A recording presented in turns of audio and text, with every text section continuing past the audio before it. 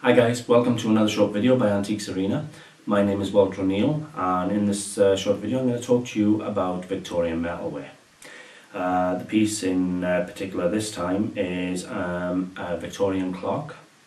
It's an absolute spectacular example. It's in high relief, uh, bronze and uh, copper and brass.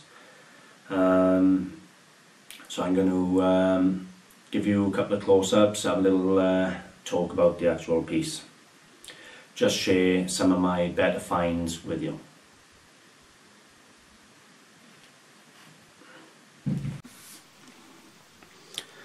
Okay guys, um, I'm to zoom in a bit here. All this work is in high relief in bronze. It's absolutely beautiful. I don't know if I can capture the detail for you. There you go. You got the uh, cherubs up here on the uh, clock, you got all the raised relief fruit and vines. Um, here you have a uh, registration number. 144833 I think. Um, which will date this to about 1880 1890 it is an absolute beautiful clock see. There you go. So you got PAT, which is patent in Great Britain and France, manufactured by the British United Clock Company, Birmingham, England. Again, um, registration number on the back here again this here is just my uh, stock reference number.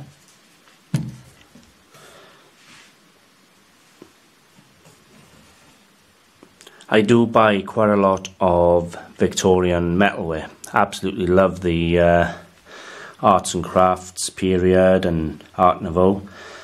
Um, but anything in bronze um, or copper is very desirable to me. Here we have obviously a hunting scene. Hunting's taboo now, but you have a couple of riders with the dogs out hunting. Um, so this clock will appeal to people in equestrian or hunting or anybody who likes clocks or anybody who likes Victorian metalware. Um, the clock is absolutely beautiful. It's about 8 inches tall, 9 inches tall. And it is a runner.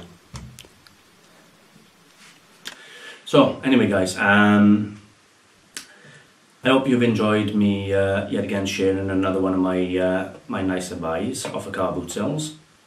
Um, this is a fine example of what it is.